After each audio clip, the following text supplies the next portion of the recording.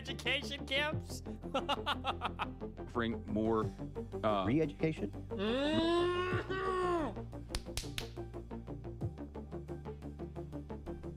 re-education, certainly. Yeah. In a socialist nation, uh, on the other flip of the coin, wouldn't you also also have this a similar movement of people, a party of people wanting to move towards capitalism? There will there will probably there will always be yes people what's who the are difference? counter-revolutionary. Um, Well, not just that. I mean, there's a move because capitalism, um, social democracy. There's a certain level of individualism that you don't have with with uh, socialism, perhaps I would say, and so, and so I would ask you, what's the difference? You're saying that social democracy nations are gonna, the rich people are always gonna be trying to erode the system. That's an assumption, by the way. Um, well, it's not an assumption necessarily as Well, it's uh, just not- it's as just not descriptive in comparison to like. Uh, I mean, it's descriptive if you look at um, how it has uh, uh, played itself out in Europe, where we. and look you're at right. these- I agree. I agree. That's what they'll be doing. So I'm not even going to argue. Even America, America had a lot of social democratic principles in the New Deal. I'm not even going to argue that.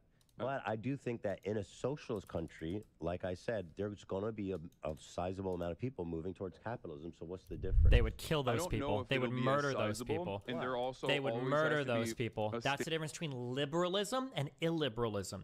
In liberalism, you can have fascists like Donald Trump or socialist commies like Hasan that are advocating for everybody to move towards their ideology, but in any of their worlds, those people would be murdered. That's the difference. I wish somebody was giving Ethan real answers right now. Um, that is the act. That's why so many of these guys have put him against the wall. The blood will run red with, or the streets will run red with the blood of landlords, and blah blah blah blah blah. Like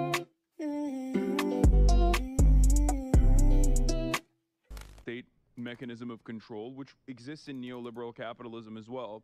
And um, this is actually an area where I very much uh, uh, diverge from the from other socialists. doubt it. You only diverge when it's politically popular to do so. Throw them on a tankie podcast, and you're just as much a tankie as the rest of them. Don't ever trust a lefty. Don't ever trust a lefty when they tell you they're more liberal than the other guys. Or they'd ever just like tr- trusting a crypto Nazi or crypto fascist when they say, "Oh no, like we'd respect other people." It's the exact same type of thing. The exact same type of thing. I would say, or even more orthodox Marxists